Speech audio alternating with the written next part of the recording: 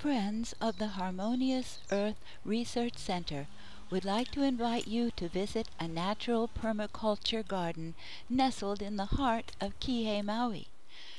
Marian Scott, founder of the Harmonious Earth Research Center, has designed many permaculture gardens on Maui and loves to share her knowledge of how to live in harmony with nature.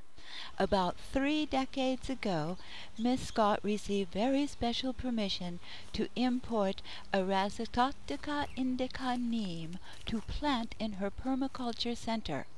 Now Miss Scott has two 45-foot neem trees rising out of her garden, providing cooling shade from the hot Kihei sun and constantly producing valuable neem products, including seeds which have sprouted and grown into a garden of small neem trees.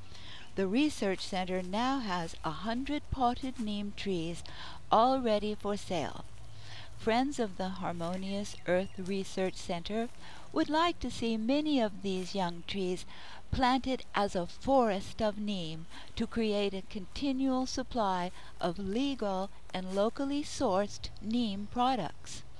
A neem forest on Maui would fit perfectly into Hawaii's statewide sustainability plan for the 21st century.